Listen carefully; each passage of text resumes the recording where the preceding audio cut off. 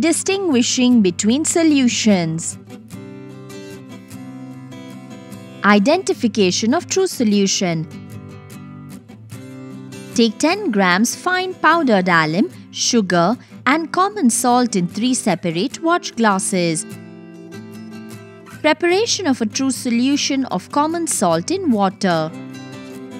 Put the fine powdered salt in a beaker containing distilled water and stir the solution using a glass rod till the salt dissolves. Preparation of a true solution of sugar in water. Put the fine powdered sugar in a beaker containing distilled water and stir the solution using a glass rod until the sugar dissolves. Preparation of a true solution of alum in water. Put the alum in a beaker containing distilled water and stir the solution using a glass rod until the alum dissolves. Now take three test tubes labeled A, B and C with a small strip of cellophane paper pasted on one side of each test tube and place them in the test tube rack. To test the stability of common salt, sugar and alum. To test tube A, Pour a small quantity of common salt solution from the beaker. To test tube B, the sugar solution and to test tube C, the alum solution. Leave the three test tubes in the test tube rack for 20 minutes. After 20 minutes, on looking at the solutions in all the three test tubes, you will notice that there are no sediments. This indicates that true solutions are stable and do not show deposits of components. Filtration of common salt, sugar and alum. Take a funnel and place a filter paper in it. Then clamp the funnel to a stand.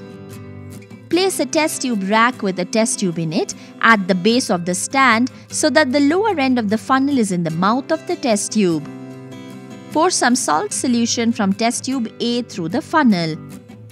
A clear filtrate is obtained with no residue left in the filter paper. Place another test tube in the rack and pour some sugar solution from test tube B through the funnel. A clear filtrate is obtained with no residue left on the filter paper.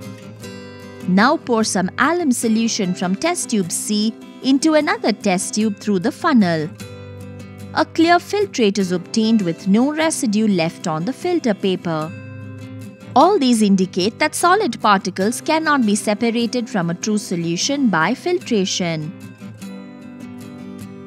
Identification of colloids Take 1 gram starch powder and 1 gram egg albumin in two separate watch glasses. Preparation of a colloidal of starch in water. Transfer the starch powder into a beaker containing about 3 ml water. Mix the solution using a glass rod. Heat another beaker containing distilled water over a Bunsen burner. Pour the boiling water into the beaker containing starch. Stir it well using a glass rod and then cool it. Transparency Pour a small quantity of the colloidal of starch in a test tube labeled G. Paste a small strip of cellophane paper on one side of the test tube and view it from the other side. The cellophane paper can be vaguely seen from the other side of the test tube. This indicates that a colloid is translucent. Filtration Clamp a funnel with a filter paper in it to a clamp stand. Pour the colloidal of starch from test tube G through the funnel into a test tube below the funnel. A translucent filtrate is obtained and there will be no residue left on the filter paper. This indicates that components causing colloid cannot be separated by filtration. Stability Take some colloidal solution of starch in a test tube and leave it in a test tube rack for 20 minutes. No changes observed. This indicates that colloids are stable. Their solute particles do not settle down even after lapse of time. Preparation of a colloidal of egg albumin in water. Transfer the egg albumin in a beaker containing about 5 ml distilled water. Mix the solution using a glass rod. Take distilled water in another beaker and pour it slowly into the beaker containing egg albumin and stir it well using a glass rod. A clear solution is obtained. Using a dropper, take a few drops of dilute HCl and add it to this clear solution and stir well. The clear solution of egg albumin and the water becomes turbid. Transparency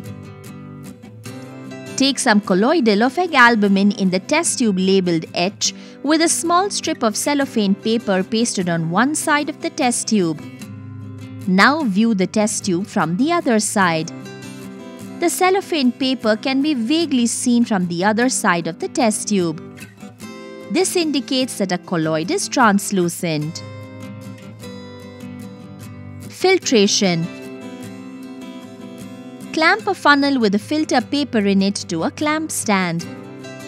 Then pour the colloidal of egg albumin taken in the test tube H through the funnel. A translucent filtrate is obtained with no residue left on the filter paper. This indicates that components causing colloid cannot be separated by filtration.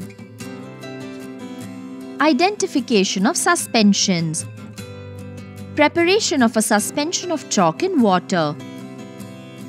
Take 10 grams of fine chalk powder in a watch glass, transfer this into a beaker containing distilled water and stir the solution using a glass rod. Transparency Pour some of the chalk suspension in a test tube labeled E with a small strip of cellophane paper pasted on one side of the test tube. View the test tube from the other side. The cellophane paper is not visible from the other side of the test tube. This indicates that a suspension is opaque. Filtration Clamp a funnel with a filter paper in it to a clamp stand. Now pour the chalk suspension from the test tube E through the funnel into another test tube at the base of the funnel. A clear filtrate is obtained with chalk particles seen in the filter paper. This indicates that suspended components of a suspension can be separated by filtration. Stability Take some chalk suspension in test tube E and leave it in a test tube rack for 20 minutes. You will note a gradual settlement of soil particles at the bottom of the test tube. This indicates that a suspension is unstable and shows settlement of heavier particles.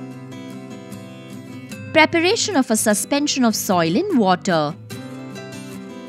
Take 10 grams of fine sand and soil in two watch glasses. Transfer the soil into a beaker containing distilled water and stir the solution using a glass rod. Transparency Pour some of the soil suspension in a test tube labeled F with a small strip of cellophane paper pasted on one side of the test tube. View the test tube from the other side. The cellophane paper is not visible from the other side of the test tube. This indicates that the suspension is opaque. Filtration Clamp a funnel with a filter paper in it to a clamp stand. Now pour the soil suspension from the test tube F through the funnel into another test tube at the base of the funnel. A clear filtrate is obtained and soil particles are seen on the filter paper. This indicates that suspended components of a suspension can be separated by filtration. Preparation of a suspension of fine sand in water. Transfer the fine sand into a beaker containing distilled water and stir the solution using a glass rod. Transparency Pour some of the sand suspension in a test tube labeled D with a small strip of cellophane paper pasted on one side of the test tube. View the test tube from the other side. The cellophane paper is not visible from the other side of the test tube. This indicates that a suspension is opaque. Filtration Clamp a funnel with a filter paper in it to a clamp stand. Then pour the sand suspension from the test tube D through the funnel into a test tube at the base of the funnel. A clear filtrate is obtained with sand particles seen on the filter paper. This indicates that suspended components of a suspension can be separated by filtration. Stability of sand and soil Pour some of the sand suspension into test tube D and soil suspension into test tube F. Leave these in the test tube rack for 20 minutes. Now observe the test tubes together. You will note a gradual settlement of soil particles at the bottom of both the test tubes. This indicates that a suspension is unstable and shows settlement of heavier particles.